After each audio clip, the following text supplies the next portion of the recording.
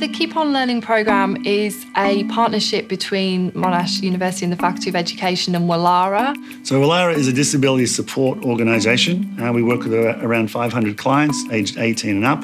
The unit that we've been developing the partnership around is around teaching inclusively. It runs over 10 weeks, and the pre service teachers really get an understanding of the person, you know, get to understand that person's particular abilities and their different abilities as opposed to their disabilities. There was one week a few weeks ago when we were doing some lawn bowl related activities and we had a bowling alley set up, which was really exciting. And one of our clients who is in a wheelchair was just absolutely dominating. It was just really awesome um, to see him really getting involved. It's a very uh, reciprocal program is I feel like I'm getting something out of it when we're running the sessions with them as long as they're getting something out of it as well.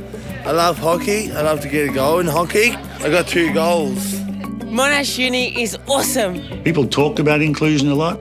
It's on a lot of billboards and advertising these days for these projects, but this is it in real life. Most of our students will go out as graduates into various school settings, and what I kind of say to all my students here is you're always going to encounter diversity in your classroom. I would like to be a teacher that can teach beyond the content. I hope to be a teacher that's important in the students' lives. The idea that learning is limitless, that it's any age, any stage, we're always learning and we'll continue learning.